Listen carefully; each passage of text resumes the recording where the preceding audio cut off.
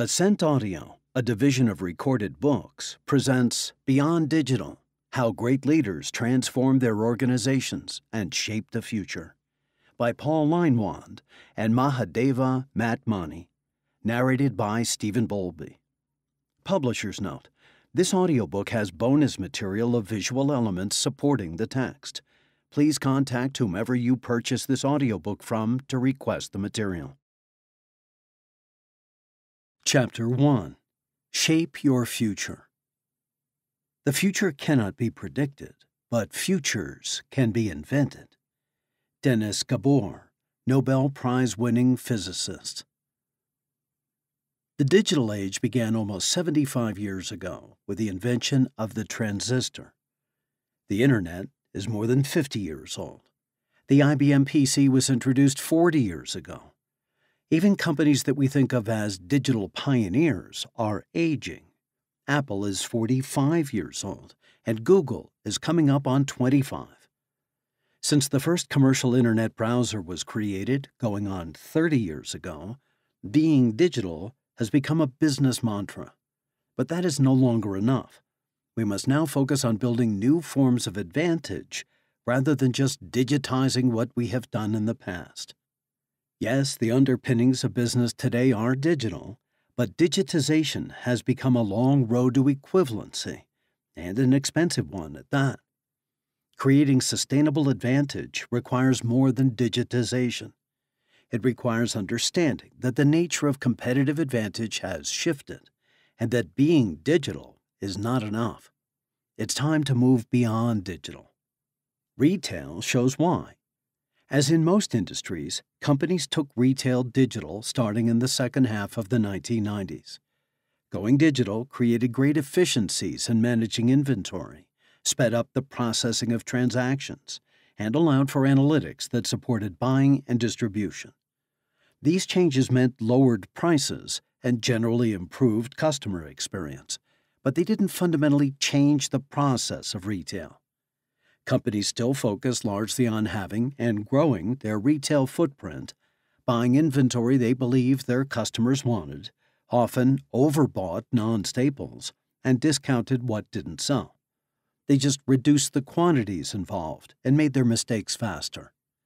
Now, look at Best Buy, a big box electronics retailer based in the United States which didn't just digitize its operations in the face of fierce price competition from online retailers. It set out to do something much bolder, going beyond selling electronics to help consumers address the significant challenges they had with everything that followed the moment of purchase. It built the Geek Squad to provide customers both in home and in store technical support and service, and leveraged many digital advantages to accomplish that task. As a result, Best Buy builds deeper relationships with customers, offers technical help, learns about customer habits and wants, and helps customers realize the full value of their investments in electronics and technology. Best Buy didn't just digitize what it had been previously doing, but reimagined its role in the world and how digital could help it fulfill that role. As a result, it has thrived even as so many big box retailers have been shuttering stores. In the world beyond digital, companies can and must do things differently. They enable and require companies to rethink the unique value they can offer customers. Digital technology doesn't just allow for doing things better, but for doing better things, even generating whole new business models as companies reimagine their futures. This is why, if you expected this book to be about how to go digital, you will be disappointed. This is not that book. This book is about how all companies must rethink their place in a fundamentally changed world and how they must transform to build advantage that is sustainable. The path taken by Best Buy and by all the companies researched and profiled in this book is in stark contrast to what many companies seem to be doing. Instead of incrementing their way toward an uncertain future, these leading companies set out to shape their future by serving a more ambitious and relevant purpose and fundamentally rethinking the system of capabilities that allows them to deliver on that purpose. What has shifted? With product lifetime shortening, organizations are recognizing that they can't sustain a differentiated position by focusing narrowly on products and services. Just because you have the best offerings today doesn't mean you'll have the best tomorrow. Smart companies now focus on building differentiation in what they do and how they operate, not just what they sell. If you get your differentiated capabilities right, then the flow of products, services, solutions, and experiences will follow. Think about Apple's design capability, which has allowed it to disrupt every industry it entered, including computers, music devices, phones, cameras, and watches. Think about Amazon's retail interface design capability, which, through its sophisticated search, comments, linking, and online payment features, has been the driving force in moving almost every consumer category online.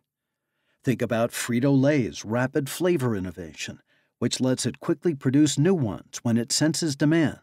For instance, a mac and cheese flavor for Cheetos. Technology plays an important role in all of these capabilities.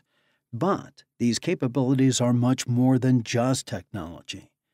They are highly integrated and often complex combinations of knowledge, processes, technologies, data, skills, culture, and organization models that together allow companies to create value in ways that others cannot. The complexity and need for integration make capabilities hard to replicate, which is why companies that define themselves through what they do tend to be distinctive and create lasting advantage. The Speed Trap When we set out to describe what was so different about the beyond digital age, one of our colleagues said, If I hear someone talk about the increasing rate of change one more time, my eyeballs will roll so much the muscles will cramp. Future Shock was published in 1970. That's the year the Beatles broke up. People pay attention to change because it is new and ignore continuity because it is not new, just as few pay attention to the electric or water utility until there's a blackout or a leak. But as Amazon's Jeff Bezos said in a 2012 fireside chat, I very frequently get the question what's going to change in the next 10 years?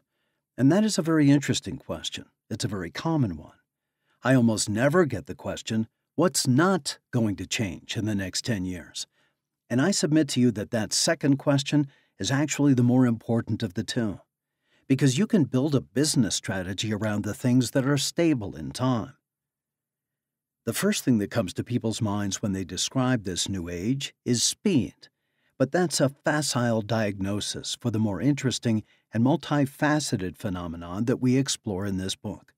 And speed is not just a simplistic diagnosis, but a dangerous one, because it can lead to the wrong prescription, become the fastest hamster in the wheel. If all you do is increase speed, you will just make the same mistakes faster. You will need to look for the things that don't change quickly, the massive problems in the world that need to be solved, the fundamental wants and needs your customers have and will continue to have, the unique things your organization is able to achieve. To be clear, speed is an important factor, just not the way people generally think. They focus on externally driven speed, how fast things are changing, when the real issue is how quickly you can make decisions internally. People focus, in particular, on incredibly rapid change in technology when the far bigger issue is the pace of business model disruption, which, while often driven by technology, typically occurs far more slowly. If you use the things that don't change quickly as an anchor for your organization, you can channel your efforts to the areas that matter most to your customers and the problems you're solving. Doing so will allow you to get in front of change and to shape your own future. Instead of forever reacting to external forces, you will take control and create the change you want to see. In the beyond digital world, the future will belong to companies that are willing to shed past belief systems and define new, much bolder value propositions.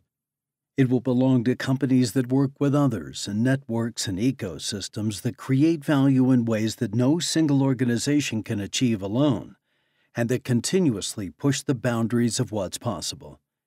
It will belong to companies that have clear and honest answers to two fundamental questions. What unique value do we contribute in today's world? And what capabilities allow us to create that value better than anyone else?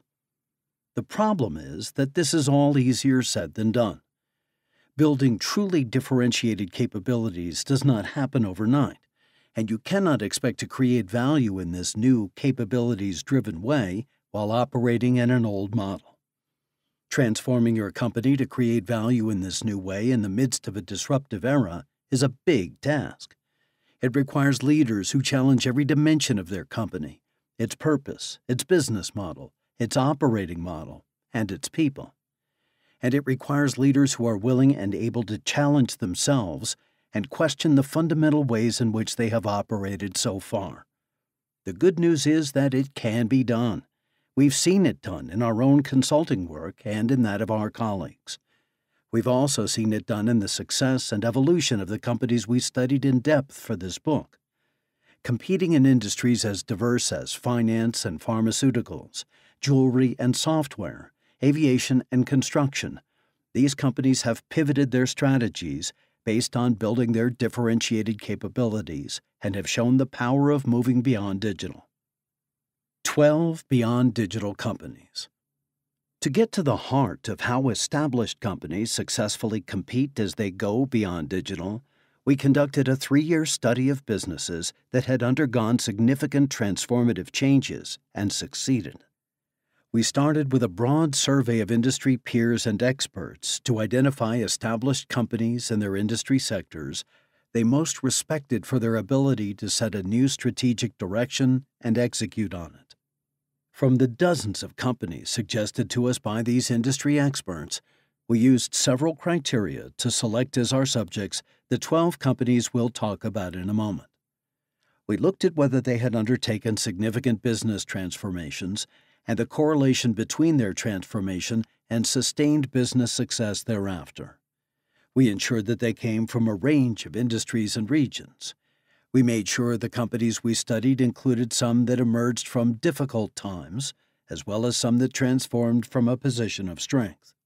Finally, we chose companies where the leadership teams were willing to open up and share their insights and experiences via in depth interviews over a number of sessions. We will tell the stories of the 12 companies we studied in detail in the chapters ahead, but here's a preview. Philips, the Amsterdam headquartered multinational, originally founded as a light bulb manufacturer in the late 19th century, exited its leading businesses in lighting and consumer electronics and reoriented its future around combining its know how in manufacturing medical devices with emerging technologies and healthcare solutions capabilities. As a result, Philips is transforming health outcomes for billions of people across the planet. Hitachi, the Japanese conglomerate that had a products based portfolio ranging from power plants to appliances to semiconductors, had been facing rapidly changing global market conditions and competitive landscapes. It reconfigured itself to focus on supplying what it calls social innovation businesses to improve quality of life across the world and create an environmentally conscious society. That reconfiguration led Hitachi to focus on five markets IT, energy, industry, smart life, and mobility, building on the company's strengths in information technology, operational technology, and products.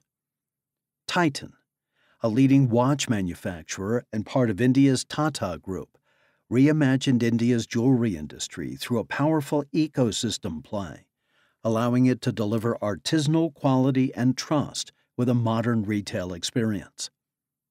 Eli Lilly, the U.S. pharmaceuticals maker, was in danger when several of its biggest and most profitable drugs went off patent. It undertook a transformation to significantly improve its R&D success rate and time to market of healthy living therapies, which allowed it to return to a premier position in the industry. Citigroup, the U.S. global bank that had been a financial supermarket when the economic crisis of 2007 to 2008 nearly put it out of business, took a step back to redefine what the company was uniquely about and created Citi Holdings to hold and divest everything that did not fit its new identity. The company continues to build on that foundation and uses the disciplines it learned during the financial crisis to refresh its strategy and further transform its core business into a leading, future oriented digital global bank. Adobe, a Silicon Valley pioneer known for its graphics software, supercharged its offerings and found new relevance by transforming its business model to a cloud based subscription service. It then leveraged the resulting data and consumer insights to effectively create and run a digital business. Komatsu, based in Japan, transformed from manufacturing and selling construction equipment into a leader in digitally enabled smart construction solutions, helping its customers dramatically improve productivity and safety. Honeywell, the U.S. headquartered multinational conglomerate, saw how digitization could transform the highly competitive market for sales and service in commercial aviation. It created a connected aircraft business to change the way people communicate on and with planes to make flights safer, more productive, and more entertaining. Microsoft, the software giant founded in Redmond, Washington, radically adapted to the cloud first, mobile first era. It went from being a technology provider licensing software and selling products to a business model based on customers' consumption of cloud services. The company now empowers organizations and individuals to improve their operations and experience of daily living. The change required Microsoft to undertake a huge organizational and cultural transformation to build and deliver at global scale a business where its success was driven by its customers' success. Cleveland Clinic, a healthcare system known for innovation, has been expanding its leading patient care capabilities to more locations and more patients across the world, and has spread learnings occurring anywhere in its growing ecosystem to improve the care it delivers everywhere. Inditex, the Spanish multinational retailer, has long dominated the market for mid priced fashion apparel with its Zara brand, but recently transformed its operations to get ahead of competition to deepen and speed up its understanding of what customers want and better satisfy those wants by seamlessly integrating its physical stores and online sales channel. STC Pay, Saudi Telecom's financial startup, created a highly successful fintech platform that provides innovative financial solutions, banking technologies, and digital experiences for Saudi businesses, citizens, and guest workers. STC Pay created unprecedented financial freedoms in a previously underserved Islamic banking system. As different as their stories are, every one of these companies had to reimagine its industries and business models. Some reacted out of a position of strength, Others faced an existential threat. But all of them saw that they had to compete in a new way in the beyond digital environment and decided to get out in front of change and shape their own future. Our research into these 12 companies uncovered seven fundamental elements at the source of successfully transforming to compete in a beyond digital world that we believe can provide a powerful roadmap for how you can achieve enduring success. We describe them below, but first, a little background on how the competitive dynamic has changed is in order. A new competitive dynamic. The first task is to step back and rethink the very basics of what drives success today. This is not the long list of new technologies, trendy business models, and the latest tools and apps, but the fundamental ways in which competitive advantage has changed and become a new force for creating winners and losers. The major changes we've witnessed can be segmented into three clusters a revolution of demand, a revolution of supply, and a transformation in the larger context in which companies operate. The revolution of demand. On the demand side, the Internet has given customers visibility into a much wider range of choices whether through individual companies' websites or through aggregators like Amazon, eBay, and Alibaba. That visibility has caused a massive increase in the number of competitors each company has because customers can see and buy products and services from providers located anywhere around the globe. Online reviews have also dramatically increased customers' ability to comparison shop and to learn about the experience of other customers. There simply is no place to hide for companies that aren't both excellent and differentiated.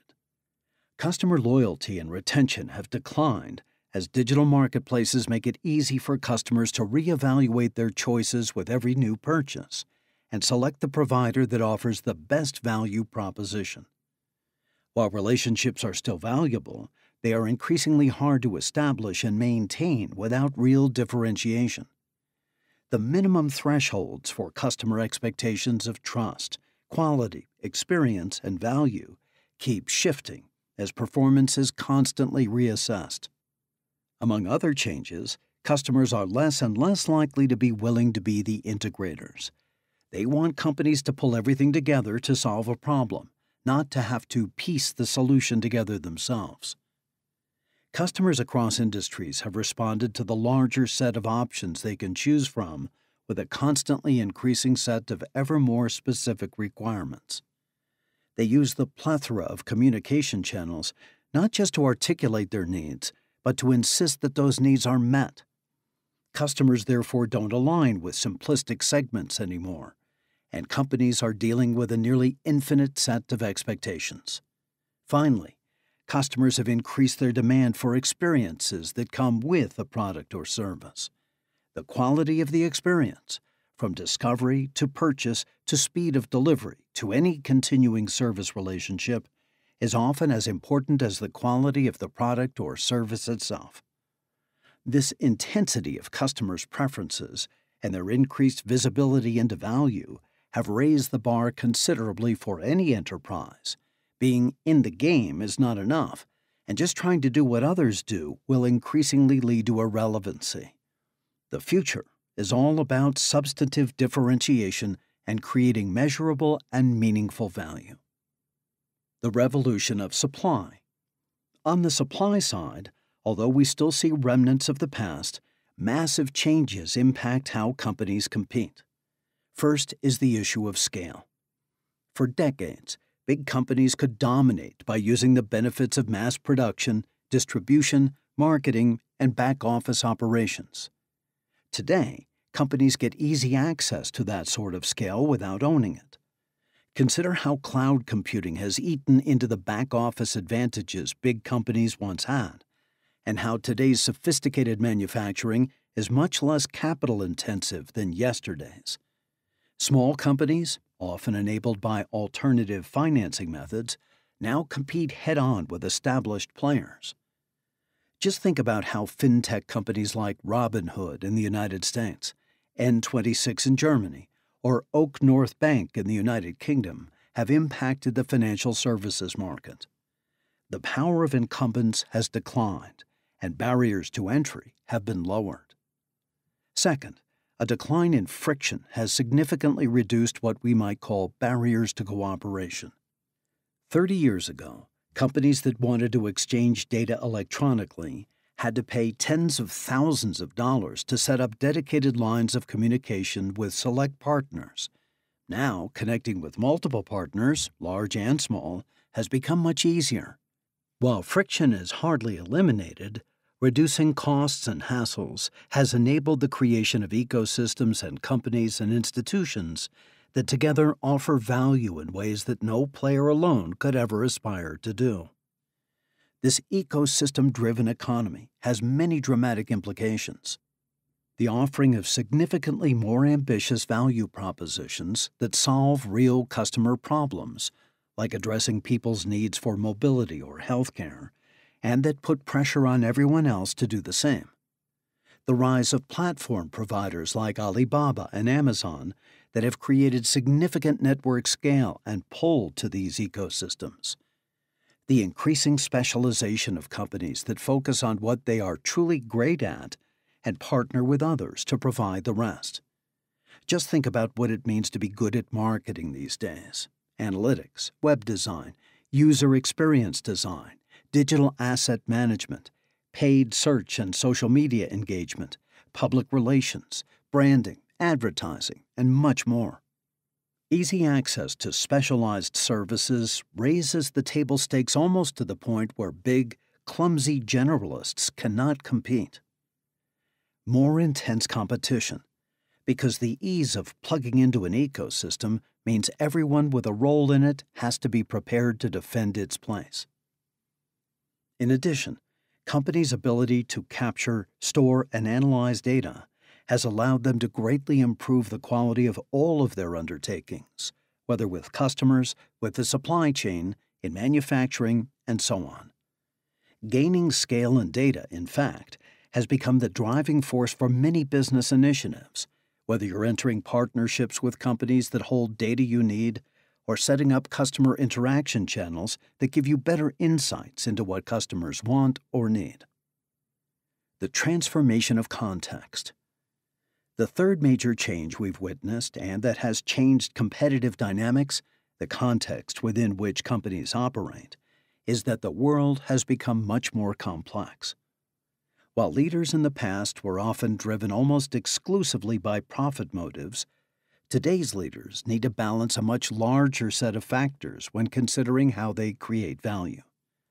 They need to deliver value to customers, invest in employees, deal fairly and ethically with suppliers, ensure environmental sustainability, and support the communities in which they work, all while generating long term value for shareholders.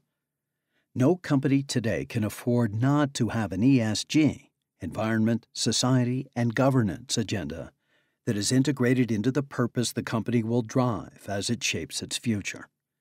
And stakeholders increasingly ask for transparency on companies' ESG impact, leading to the rapidly growing importance of non financial reporting to assess the full value of a company or investment. Companies must adapt to a world in which people increasingly want to work for organizations whose purpose connects to their personal values. They ask that their employers have a broader positive impact on the communities in which they operate. And they look to companies to help address some of the massive societal problems. For example, climate change, income inequality, unemployment, gender inequality, racism, or mental emotional well being that threaten the world today. The ever increasing level of global connectedness, while creating significant opportunities, has also greatly raised uncertainty and exposure to risk. It is difficult to emerge unscathed from the impact of hurricanes, floods, wildfires, supply chain interruptions, trade wars, political turmoil, armed conflicts, pandemics, and many more even if these events originate in regions far away from where you operate. Companies must face challenges that affect their customers' ability to spend, their employees' ability to perform, and their partners' ability to deliver.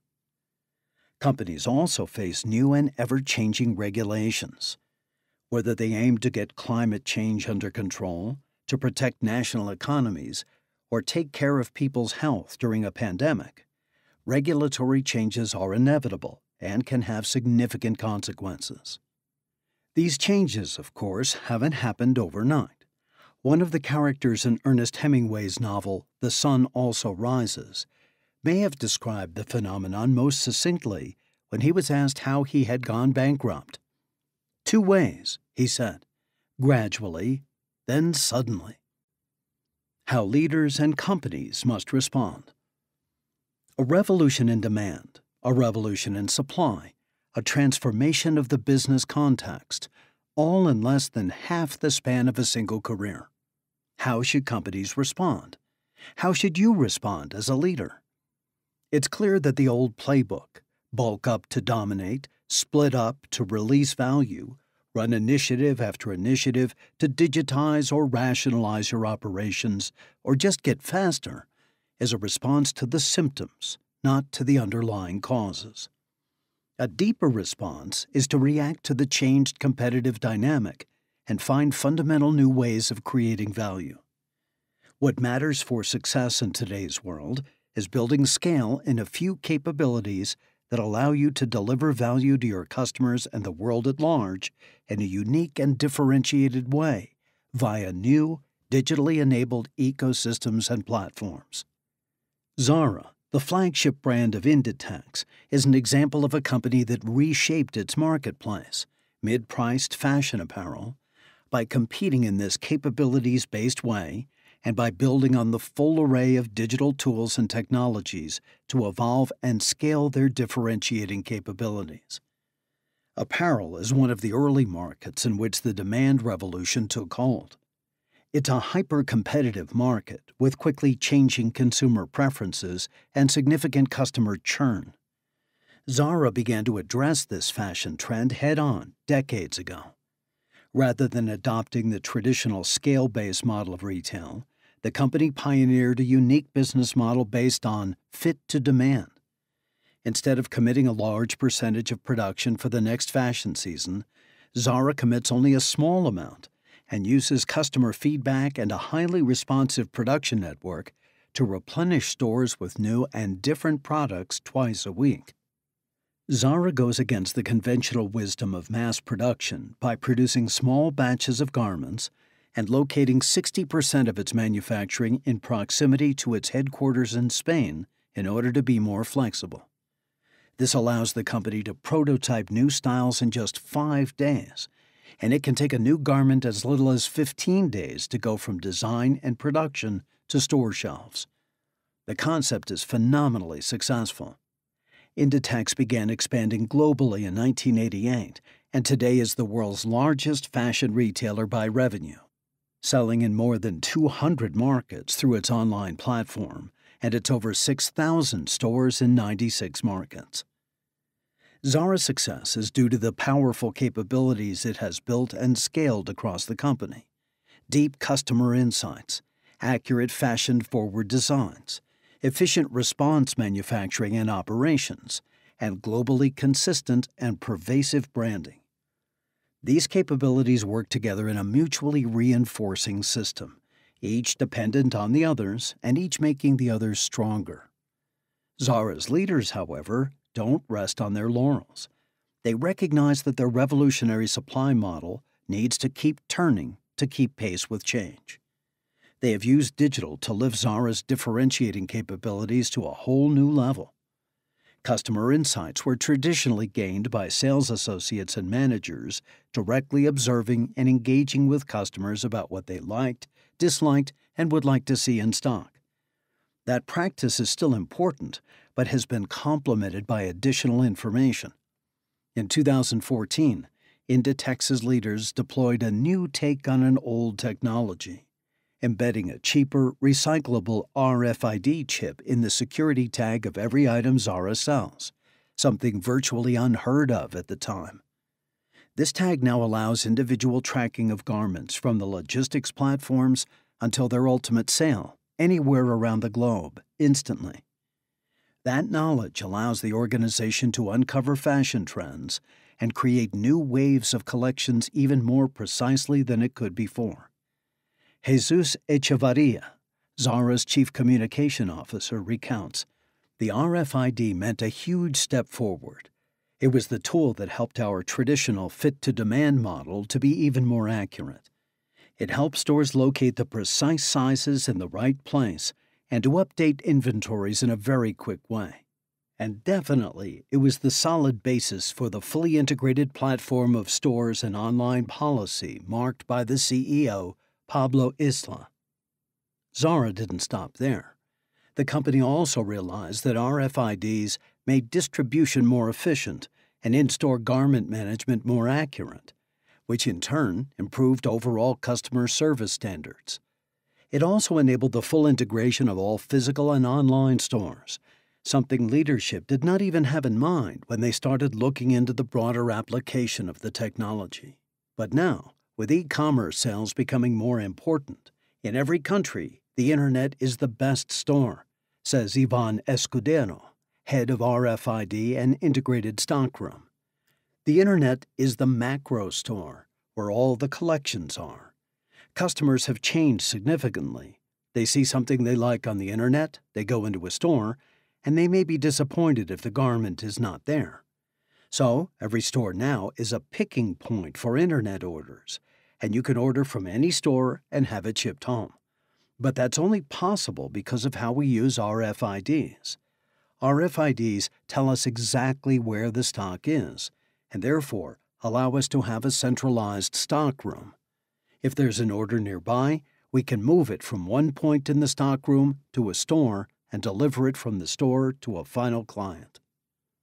Inditex is also changing its store concept, opening larger, high tech stores, extending and modernizing existing stores, and consolidating smaller stores that are less well positioned to offer customers these new integrated services.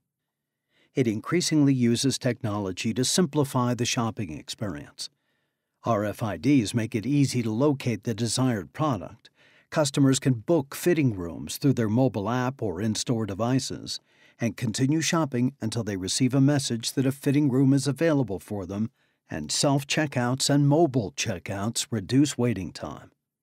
In 2017, Zara launched a new pop up concept with a novel shopping experience, first in London and then in other cities. The pop up location offers a select collection of items that can be purchased through Zara.com directly from the store and offers customers the ability to collect online orders or return or exchange items. Zara personnel are equipped with tablets that allow customers to purchase at any point in the store and pay at the till. And smart mirrors show items in real size to coordinate and combine items with other garments and accessories. COVID 19 has accelerated many of the trends that shaped Inditex's integrated stores and online platform strategy. In June 2020, the company announced it would speed up and broaden its digital transformation. Over the next two years, it would invest 1 billion euros in bolstering the online business and a further 1.7 billion euros in upgrading the integrated store platform deploying advanced technology solutions. The company would then consolidate more than a thousand smaller stores that were less well positioned to offer these new customer experiences. The overriding goal is to speed up full implementation of our integrated store concept, driven by the notion of being able to offer customers uninterrupted service no matter where they might find themselves, on any device and at any time of the day. Executive Chairman Pablo Isla said. As Zara shows, differentiating capabilities aren't just things functional leaders invest in. These capabilities must be at the core of your purpose because they define who you are as a company. They must deliver the value proposition you are promising to your customers, and they must be where an ever increasing amount of your investment goes and where your talent is deployed the seven imperatives for beyond digital leadership. For most established companies, creating lasting value in a beyond digital world requires transformation. But the kind of transformation required is not just about technology innovation. Yes, companies had to make sure they could reach customers digitally and enable employees to go to work. But this accelerated wave of digital initiatives is mostly about staying in the game no matter how many digital initiatives you implement, you can't expect to win by being the same as your competitors, which are all doing similar things, even if at different speeds.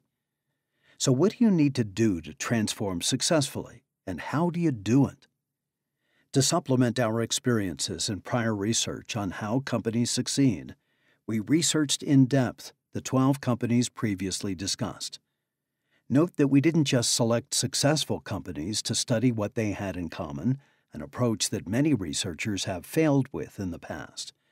We focused on established and substantial companies that applied the one approach we know, backed up by significant analytical research and many decades of hands on client experience, that generates consistent results across time. Shaping your company's future by building on a set of differentiated capabilities that deliver your company's unique value proposition. We selected companies that followed this approach and studied what they did and how they operated to learn how they successfully keep their companies relevant and value generating in a beyond digital era. Our objective was to learn not just about what these companies did, but about how they did it, how they made choices about the future, how they came to the insights that informed their choices, how their leadership teams worked, how they got people on board, and how they overcame the inevitable stumbles in their journeys. We found that despite the differences in industry, geography, and size, the transformation journeys these 12 companies undertook and the way their leadership teams navigated the changes had key elements in common. They each started their journey with looking externally and reinventing their value proposition and their relationship with customers and partners.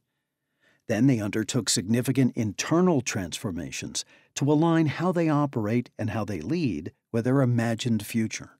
And finally, the leaders of these companies took on themselves their own beliefs, strengths, and weaknesses so that they could be fit to shape their company's future. We summarize key insights from their journeys as seven leadership imperatives that together provide a powerful playbook for how to structure and execute the transformations that are required. We'll go into detail in the chapter on each that follows, but here is a bit about how the winning companies we've researched put each of the imperatives into practice. Reimagine your company's place in the world. To succeed in the beyond digital world, you need to take a stand on what position your company is going to occupy you need to take a leap of imagination to look beyond your current portfolio of businesses and products and beyond what your competitors are doing to imagine who you want to be. You need to define your company's place in the world in terms of the unique value you create for customers and for society, and the system of distinct capabilities that allows you to create that value in ways that others cannot. If your company vanished off the face of the earth, how big a hole would you leave for your customers and society? The value you're creating, in many cases, will be significantly more ambitious than what companies could have imagined just five to ten years ago. That's because it's much easier for them to collaborate toward a common goal, and because the evolution of platforms and ecosystems has made it possible for them to choose more purposefully what they're going to focus on, and in which areas they can access another organization's capabilities. This is not just true for the largest organizations.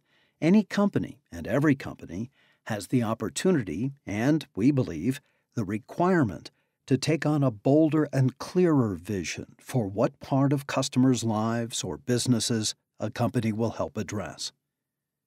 Coming up with a powerful place combines art and science.